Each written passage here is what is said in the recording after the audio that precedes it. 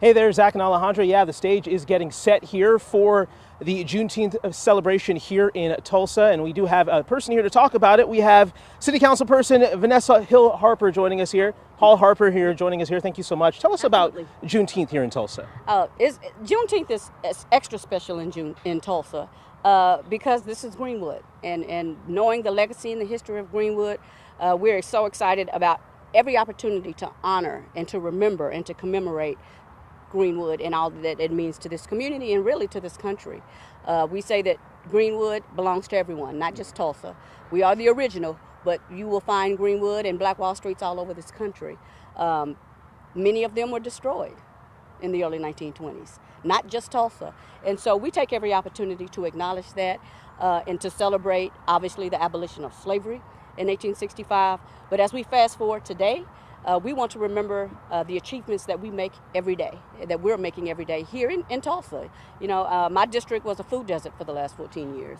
And so we recently, within the last year, opened up a, we just celebrated the one year anniversary of, of the opening of a, of a, a full service quality grocery store. Uh, we just announced a couple of weeks ago the first black female to receive a $250 million development project right? So these are the things that we, we want to celebrate uh, just to, to remind ourselves of who we are as Africans in America. So there's so many Juneteenth celebrations around the country. Absolutely. What makes Tulsa's and what, what makes Greenwood so special? I think Greenwood is special because, you know, I, and, and maybe I'm, I'm, you know, uh, prejudice about this because yeah. I, am born and raised here. Of course. But because of the, the history and the legacy of Greenwood, what took place here uh, over 100 years ago, uh, where black people came one generation out of slavery and created uh, a mecca of entrepreneurship. Uh, unfortunately, it was destroyed by white hate, but we rebuilt. And it shows our resilience. It, shows our resilience in this community and really in this country. And so I think that's what makes Greenwood special, and I think that what makes Tulsa's Greenwood special. So for people coming out here this weekend, what can they expect? I see food trucks already lined up, oh, the big wow. stage set up. What are people going to see out here? Uh, a celebration. They can they can expect celebration, and we hope to do some teaching as well of what uh, Juneteenth means. And and there's even extra uh, Juneteenth uh, uh, commemoration here because we have uh, the Black tribe tribal members.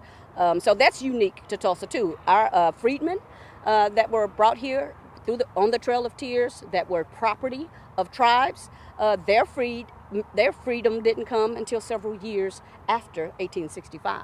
So the tribes didn't release their slaves the same time the United States did, and a lot of people don't realize that. And so we wanted to try to uh, delve into that history every chance we can get to to uh, stay true to who we are and to and stay true to America's history.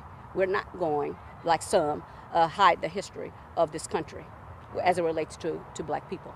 Vanessa Hall Harper with the Tulsa City Council. We appreciate your time. Thank, Thank you. you so much. Thank you so much. You heard it all there. You heard the history. You heard the significance.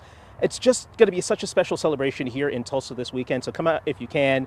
Uh, it's completely free. Tons of food trucks and, and black art and black artists and crafts and everything that you'd want to see out here. So get out here and uh, make a weekend of it if you can. Live in Tulsa this morning, Jason Hackett, KOCO 5 News.